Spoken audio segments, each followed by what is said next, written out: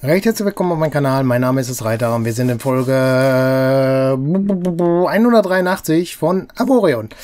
Ja, der Thomas Stehler hat in einer der vorherigen Folgen äh, mir den Tipp gegeben, dass ich jetzt hier diese Koordinaten da an diesen Zahlen sehe und wenn ich da jetzt auch drauf gucke, sehe ich, ich habe zweimal die Nummer 71, also ich habe zwei Sender mit der Nummer 71. Einmal ist es X333 und einmal ist es Y minus 66. Das heißt, ich habe eine Koordinate, wo was los ist. Ne, da haben wir das jetzt endlich, dieses Rätsel gelöst. Ich habe es erst nicht verstanden, aber jetzt ist es klar. Und bei 65 hätten wir das auch. Da ist es 148 und minus 115. Ja, ich weiß jetzt gar nicht, was da war. Aber müssen wir mal gucken, ne? Vielleicht habe ich auch X und Y vertauscht, ne? Wie war das noch mit den Koordinaten? Äh, war X äh, waagerecht und äh, Y senkrecht? Wenn, dann habe ich es falsch verstanden, ne? Muss ich mal gucken.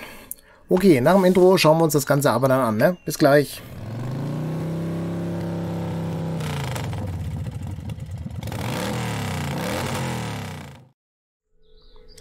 So, wenn mich da nicht alles täuscht, sind wir dann ja hier irgendwo bei, warte, wie war das jetzt mit der 65, 148 minus 150. 148 minus, war das jetzt da? Ne, minus 115. Und es ist da. So, Koordinaten sind eingegeben. Und wir müssen dahin. Schiff drehen. Und dann dahin fliegen. Ich hoffe, ich gehe da nicht gerade baden an dem Schiff, äh, an dem, an der Station.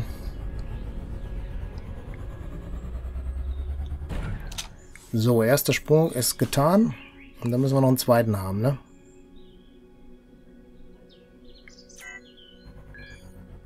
So, nochmal nach da.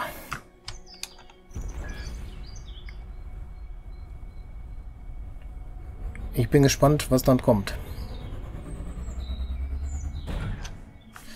Jetzt sind wir in einem entscheidenden Sektor, wenn er denn richtig angegeben ist und ich es nicht falsch rum eingegeben habe. Mission aktualisiert. Die Hati. Tab. Mission anpinnen. Finde mehr über die Hati heraus. Folge den Sendern. Aha, das heißt, ich muss jetzt dahin. Mission aktualisiert. Tab. Mission anpinnen. Ah, das ist jetzt die andere. Folge den Sendern war die Hati. Jetzt weiß ich nicht, was das Folgen gemeint ist. Oh, der ist es schon. Kann ich jetzt... Operation. Mission aktualisieren. Operation Exodus. Codefragment A gleich C5. Äh, Kapitel Level 2 erreicht. Auftrag abgeschlossen. Kommando hat sich jetzt Ertrag. Okay. Und ich gebe jetzt den Code ein. Uh. A, B. Vielleicht habe ich noch nicht den Code. A gleich C5.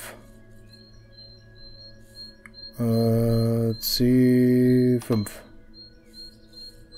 Bestätigen. Zugriff verweigert, Systemverfolgung gesperrt. Ich hätte wahrscheinlich den Code Fragment B jetzt noch haben müssen. Nachdem du Sender entschlüsselt hast, führt dich ein weiterer Sender zu einem neuen Sektor. 179, 167. 179 minus 167. 100 79 167 Der muss also hier unten sein. Da. Koordinaten in Navigationscomputer eingeben.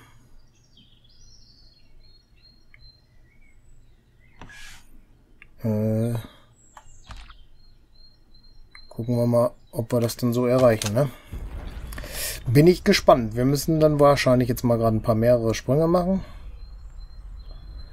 Aber das sollten wir hinkriegen, ne? Springen können wir ja. Und wenn nicht gerade Piraten wieder da sind. Yippie, wieder Piraten. Das war ein Satz von Thomas. Ja, passiert halt schon mal, ne? Cooldown haben wir ein bisschen, aber der geht ja schnell vorbei. Und dann laden wir wieder auf.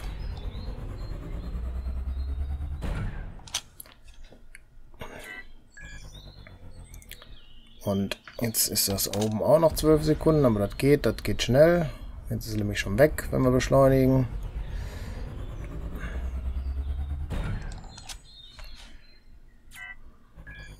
Und wo sind wir jetzt? 166, 145. Noch nicht ganz angekommen.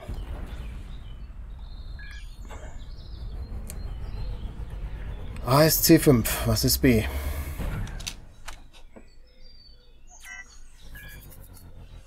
Oh, noch mehr? Aber ich glaube, dann sind wir gleich im Ziel, oder? 178, 165, weiß ich jetzt gerade nicht. Könnte aber sein, ne? Ne, 179, 167. Das heißt, wir müssen noch einen Sprung machen. Da ist es dann richtig wohl. Kühlung weg. Springen laden. Und ich bin gespannt. Operation Exodus aktualisiert. A gleich C5. Äh, da blinkt er.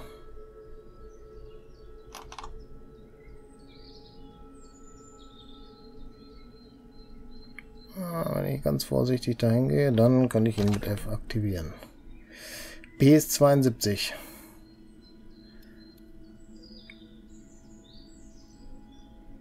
Jetzt will ich das wissen, ne? C5 und 72. Bestätigen. Ah, Wahrscheinlich kann ich jetzt direkt dahin springen. Kann das sein? Nach 223, 187. Mal gucken, ob das so ist. Aber ich habe keine Ahnung. Vielleicht komme ich jetzt auch zu irgendeinem harten Gegner, den ich nicht schaffe. Aber wir wissen es nicht, ne? Schauen wir trotzdem mal nach, was da los ist. Einfach so ein Wurmloch aufgeht.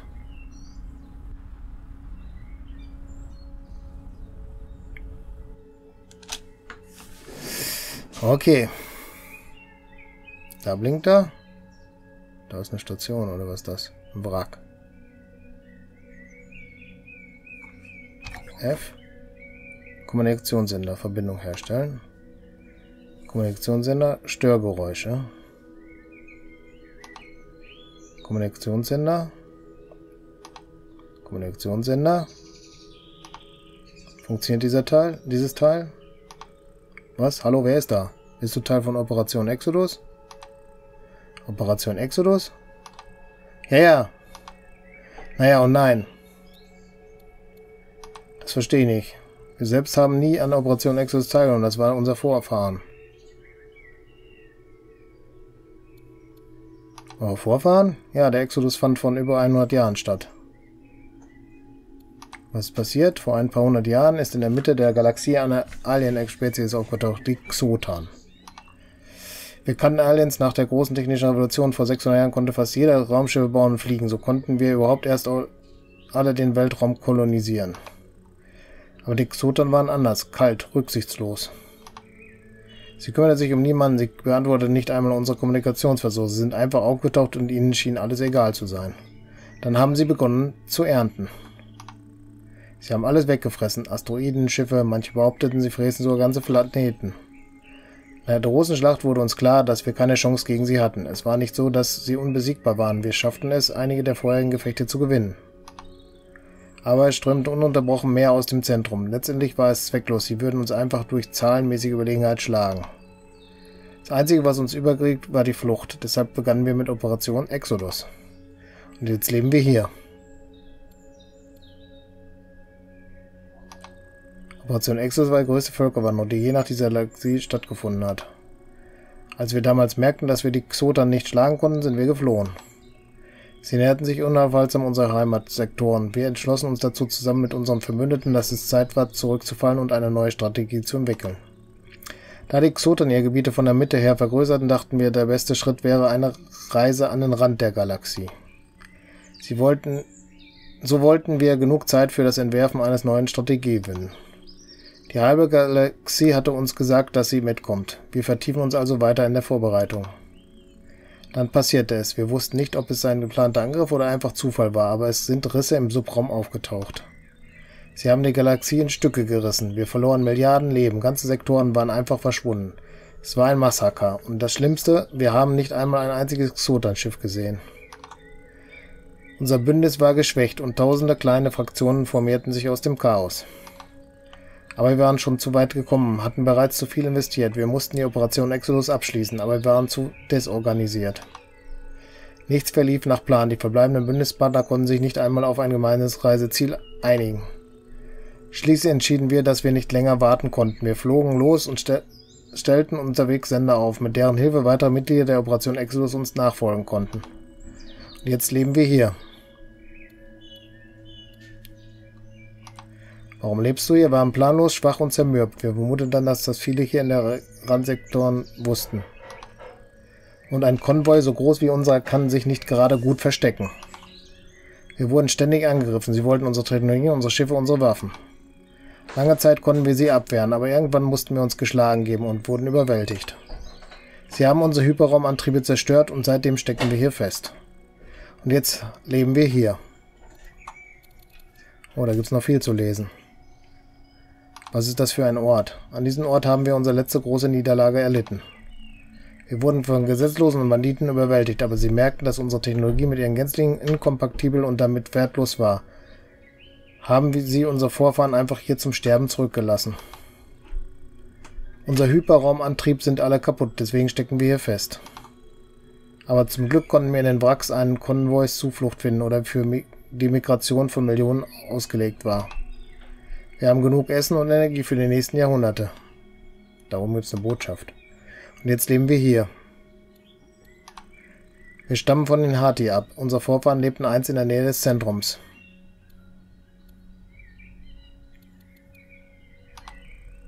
Was sind das all die Wracks verstreut?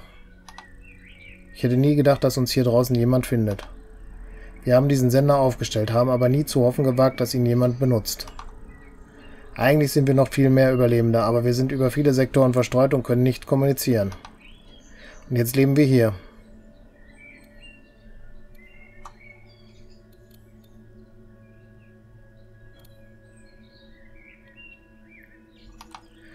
Die Xotan-Schiffe unterscheiden sich nicht groß von Eiern und oder unseren. Sie sind stark, aber nicht unbesiegbar. Das größte Problem ist, dass es sie verdammt viele sind. Man muss sie daran hindern, Nachschub zu rufen. Wissen leider weder, wie man das macht, noch wo sie herkommen. Unsere Vorfahren konnten ihnen Schlechten immerhin an einen Teil ihrer Technologie kommen. Du kannst etwas davon haben, wenn du willst. Für uns ist es mittlerweile sowieso wertlos. Wir haben einen der Artefakte aus einem Wrack in deiner Nähe geworfen. Sieh dich mal um. Ah. Da habe ich was Legendäres.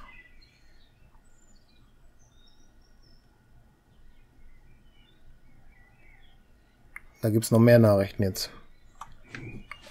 Wir haben einen Artefakte aus einem Wrack in der Nähe geworfen. Sieh dich mal um. Okay. Und jetzt leben wir hier. Okay.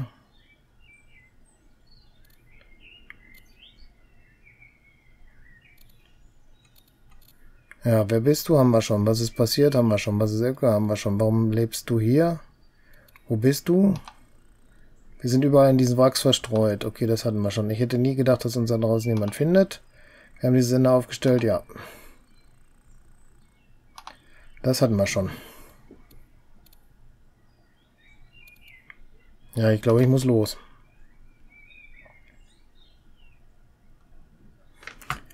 Das war jetzt der Kommunikationssektor. Jetzt lass uns mal auf den Briefumschlag gerade schauen. Die Bruderschaft. Hallo, ich habe von einer Gruppe von Leuten gehört, die auch die Barriere überqueren wollen. Sie suchen auch nach Xotan-Artefakten. Sie fragen an den schwarzen Brettern von Stationen danach. Vielleicht kannst du sie finden und wir können mit ihnen zusammenarbeiten. Grüße, Do. Okay, und dann haben wir hier noch Spielermenü. Eine Gesellschaft Erträge für dich. Ah, okay, das war jetzt dann das. Haben wir schon genommen. Rekonstruktion an einem Dingens. Reiter 1 ist kaputt. Ja, finde die Bruder. Finde einen Beitrag, Eintrag auf einem schwarzen Brett über die Bruderschaft. Na dann. Äh, einmal bitte Subsysteme gucken. Da ist es, ne? Einziger kann nur einmal installiert werden. Dieses System hat einen großen vertikalen Kratzer auf der Oberfläche. Ja, Ist die Frage, was nimmst du raus, ne? Oder baust du größer? Musst du größer bauen wahrscheinlich. Damit wir hier mehr Plätze freikriegen. Gut. Da ist ein Tor, was kaputt ist. Oder geht das? Was jetzt passiert? Ich habe Doppelklick gemacht und dann ist das Spiel angehalten. Okay, zurück zum Spiel. Äh, wo ist jetzt das Tor? Da. Kommunikation. Funktioniert das Tor? Wir können ja mal gucken überhaupt, aber nee, da gibt es keine Wege von weg.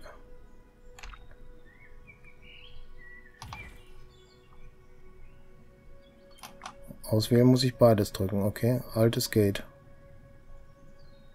Nicht bereit. Kann ich das irgendwie noch auswählen mit F? Nee, ne?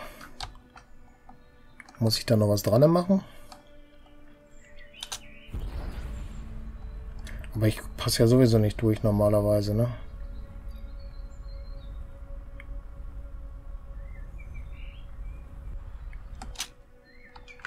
Das ist ganz schön weit weg. Das bedeutet, wenn das weit weg ist, das ziemlich groß. Da müsste man mit dem Schiff doch da durchpassen, oder? Wahrscheinlich können wir durchfliegen, aber es ist nicht aktiv. Das ist unser Problem, oder? Würde ich jetzt mal so sehen. Ja, so sieht's aus. Das muss man aktivieren. Ist nur die Frage, wie. Ach, da vorne ist auch noch eins. Altes Gate. Okay, das heißt, die finde einen Eintrag auf einem schwarzen Blatt. Lady ist erledigt. Gut. Ja, dann, also hier gibt es ja wahrscheinlich nichts, ne? Altes Gate nur zweimal. Okay, das ist aber schon mal was wert für uns. Äh, jetzt ist nur die Frage, wo finden wir hier äh, Aktivitäten. Grüne Blips gibt es gar nicht mehr.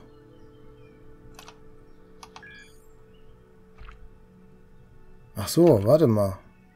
Wir sind ja durch dieses Tor gesprungen. Gibt es das Tor denn hier auch nochmal?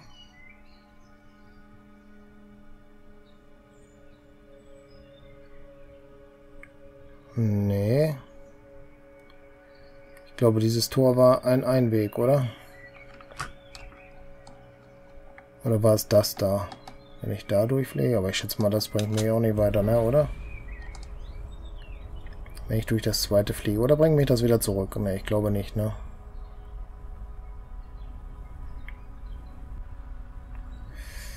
Das ist, glaube ich, genauso tot wie das andere auch, ne? Schätze ich mal. Ja, eigentlich brauche ich nicht gucken, weil drin ist ja nicht irgendwie was anderes. Die normalen Tore sind so, dass da, ne, dahinter der Hintergrund des anderen Sektors, wo du reinfliegst, ist. Und der ist hier auch nicht gegeben. Aber es ist auf jeden Fall ein großes Tor gegenüber die anderen. Also das ist schon mal, dass wir da auf jeden Fall durch können, wenn, ne?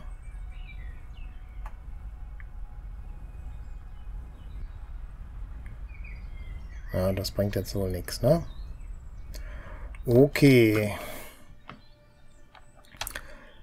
Dann wäre zu überlegen, was wir weitermachen. Vielleicht springen wir nächstes Mal da ein, aber ich denke mal, wir machen erst einen Cut. Ich bedanke mich recht herzlich für die Aufmerksamkeit, das Video zu sehen und äh, würde mich freuen, wenn ihr das nächste Mal auch wieder mit dabei seid. Falls ihr noch kein Abo habt, macht eins. Falls euch die Folge gefallen hat, gebt einen Daumen hoch, macht euch die Glocke an, kriegt damit, wenn ich das nächste Video hochlade, gerne Kommentare schreiben und auch gerne das Video auf Kanälen teilen. Wir sehen uns in der nächsten Folge. Bis dann. Ciao.